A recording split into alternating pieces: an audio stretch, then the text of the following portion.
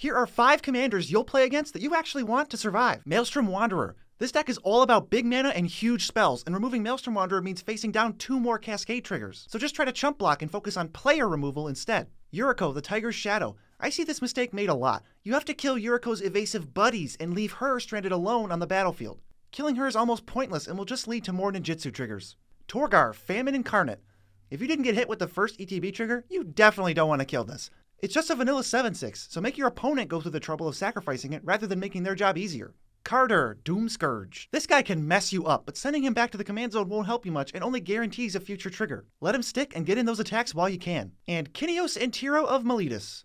Their ability is lopsided towards their controller, but it really isn't that bad for anyone else. Take your free resources and use them to execute your own plans. Subscribe for more non-violence. Peace out, Tribe Scout.